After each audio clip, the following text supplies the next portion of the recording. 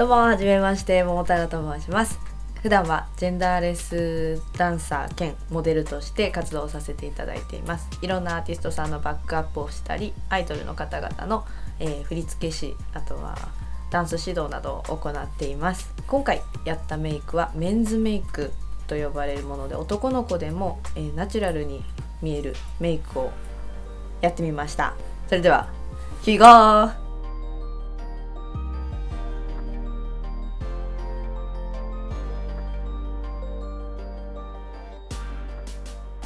えー、カラコンはシャルムのホワイトを使っています。14.3mm であまり大きいサイズじゃなく縁のないものを選んで普段は使っています。あまりデカめにしすぎるとメンズ感がなくなってしまうのでまあ極力小さめのサイズで目の色が自分は真っ黒なので発色がいいようになるべく白が多めに入っているカラコンを選ぶことが多いです。ベースメイクはまずこのラノアミネラル CC クリーム SPF50+PA4+ のものを使ってます。保湿成分がすごく豊富なので混合肌でここの乾燥する部分にラノアミネラル CC クリームを使ってあとは化粧っぽさがあまり出過ぎないように薄付きな下地を使ってます。もう一つの下地がソフィーナプリマビスタ、えー、SPF20 の PA2 プラスのものを使ってます。これはテカリ防止のために使うので、えー、T ゾーンとテカリやすい顎だったりの部分に塗ってその後つけるファンデーションが崩れにくいようにしています。えー、次にコンシーラーで、えー、メイベリンニューヨークのマスターカモフラージュデュオグリーンミディアムベージュのコンシーラーを使いました、えー、これが2色になっているものなので赤みのある方はグリーンの方を使ってニキビを隠すような感じで使ってその後に上からベージュをのせてぼかすように使うとニキビの赤みが消えるので、えー、カバーしやすいものになってます、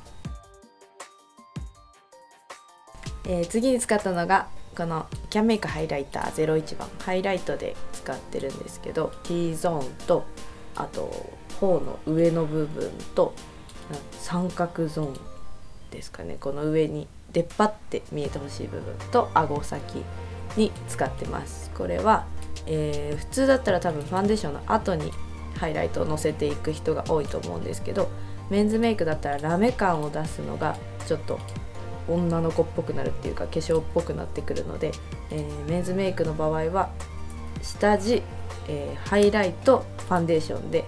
上からファンデーションをつけることでラメ感を消せるけどハイライトの役割を果たしてくれるので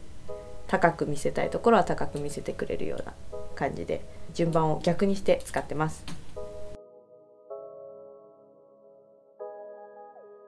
次に、えー、使っているファンデーションがチャコット for Professionals エンリッチングクリーミーファンデーション833番です。これはカバー力が強いのと、えー、自分は汗をかきやすいのでなるべく皮脂に強いものただ乾燥もあるのでバランスを考えて、えー、下地でバランスをとってるような状態でこれは乾燥もしないしテカることも少ないのであと汗に強い流れにくいっていうのでとても重宝してます。メンズメイクになると濃く塗りすぎないようにスポンジをこのスポンジを使って、えー、広げていく感じで極力最初にハイライトをのせてるのでハイライトをつけてない部分から伸ばし始めて次にハイライトのついてる部分にカバーしていってあまりファンデーションファンデーションしすぎないような感じでつけてます。先ほどつけたコンシーラーをファンデーションした後に少し、え、カバー力の足りない部分には重ねてつけて1回目で消えてる部分には特につけなくていいと思うので、まあ、消えてない部分だけ気になる部分だけ少しカバーをします。次に使ったのがパウダーファンデーションでチャコット・フォー・プロフェッショナルズフィニッシングパウダー761番。ナチュラルという、えー、色味のものでこれも、えー、皮脂になるべく強いように汗をかいても大丈夫なようにっていう部分とあとは混合肌なので T ゾーンの部分だけにパウダーをつけて皮脂崩れ防止のために使っています。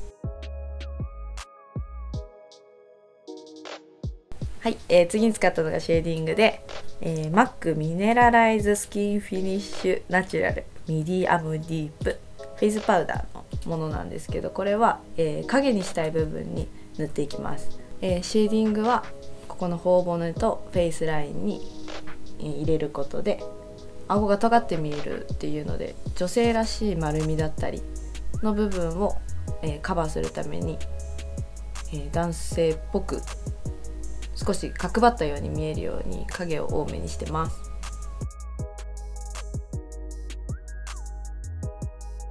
えー、次に使ったのがこの資生堂ベビーパウダープレストこれはベビーパウダーで、まあ、ファンデーションを首まで塗ってしまうと結構洋服につきやすかったりっていうのがあるので顔と首の色が極力変わらないようにベビーパウダーで首に少し白さを出すために自分はベビーパウダーを使っています、えー、本当はファンデーション粉のファンデーションの後にこのベビーパウダーをしてフェイスラインのシェーディングに入るんですけどちょっと順番を間違えてしまったので、まあ、フェイスパウダー鼻とおでことした後にこれで首の色をカバーしてシェーディングに入ってっていう流れになります。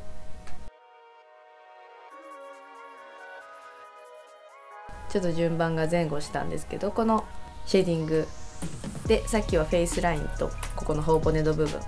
に入れたのを今度はこっちの首元に影をつけるためにここにがっつりと入れてあとは顎下暗く見せたい部分影にしたい部分にがっつり入れて角張らせることで少しメンズっぽさが出てくるかなと思います。えー、次にエクセルスタイリングパウダーアイブロウの SE03 番の色でこれはアイメイクこの辺り全部これを使ってるんですけどこの上から3つでまずアイホールを埋めるような感じでここに、えー、ベースをつけてで今度ノーズにそのまま眉毛からつながってノーズに入れてこれも上から3段123段を使って引いてあとノーズの時はがっつりここの鼻の下の部分にもクロスに入れるようにしてます。で小鼻の部分もがっつり潰してぼかす時にここの忘れないようにここの鼻の周りをぼかしていってその後がアイシャドウをえー、この一番上の暗い色を使って目の二重幅ちょっと狭めぐらい二重幅にここにはチップを使って塗ってます。この時にがっつりラインっぽくならないように最後に指でぼかして、えー、この部分だけを黒くする。で、えー、目からもそんなに幅出すぎないように注意して極力メイク感をないようにでも目は濃いめに見えるようにっていうのを意識してつけてます。えー、資生堂アイブロウペンシル3番ブラウンの色を使ってるんですけどこれで、えー、アイブロウ眉毛の自分はここ短いのでここの部分尻尾の部分だけに引いてこっちも尻尾の部分だけ引いて先ほどのエクセルのパウダーアイブロ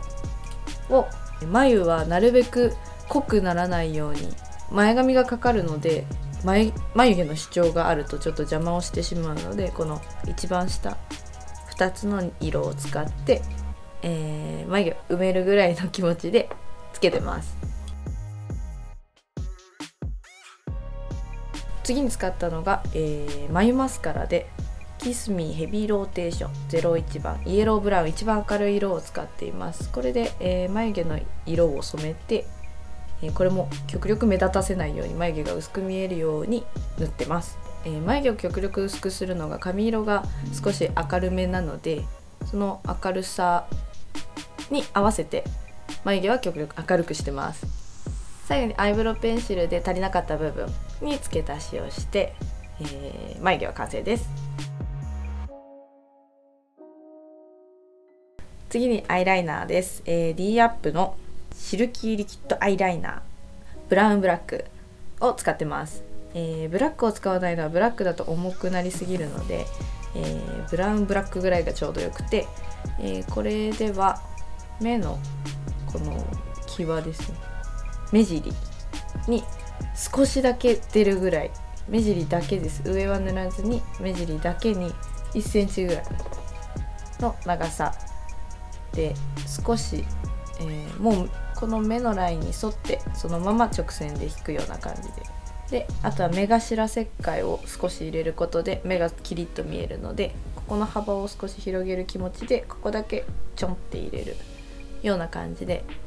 極力アイライナーとしてこの上を引いたり囲ったりっていうことはしてないです。この目尻と目頭だけに塗るようにしてます。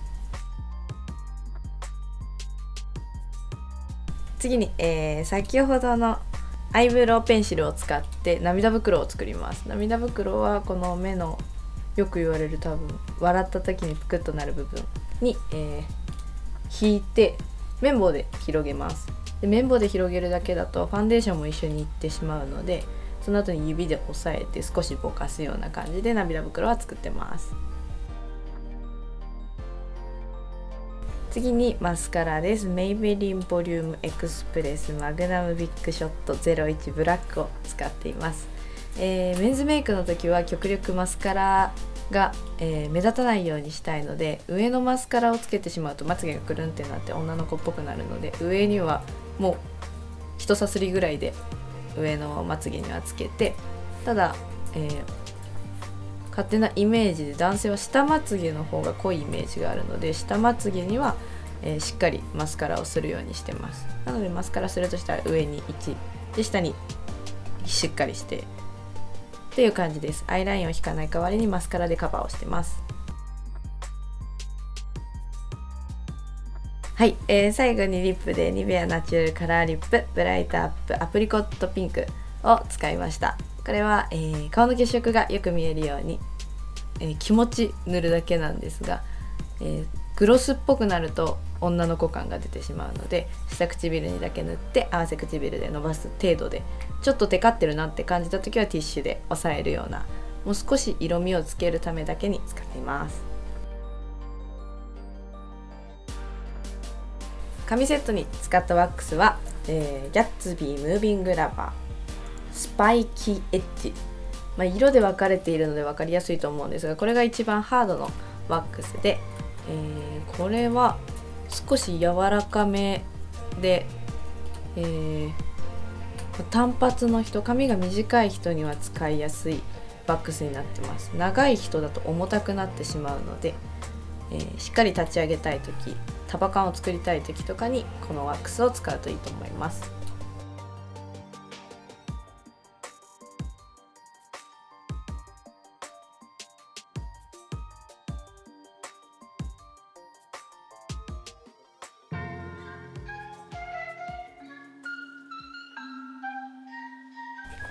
はい、えー、いかがでしたでしょうか？メンズメイク、えー、男の子でもできるぐらいの薄メイクで、えー、女の子で男の子っぽくなりたい子におすすめのメイクだったかと思います。あとは、えー、女の子が男の子っぽい格好をしたいという場合は、まあ、スタイリッシュな格好をする時もあるんですけど極力体のラインが出ないようにするのがポイントかなと自分は思うので、えー、オーバーサイズの洋服を着たりだとか、えー、身長が高く見えるように厚底を履いたりだとかそういった部分を意識するといいんではないかと思います。えー、他にも動画がたくさん載っているので見てみてくださいあとチャンネル登録もよろしくお願いします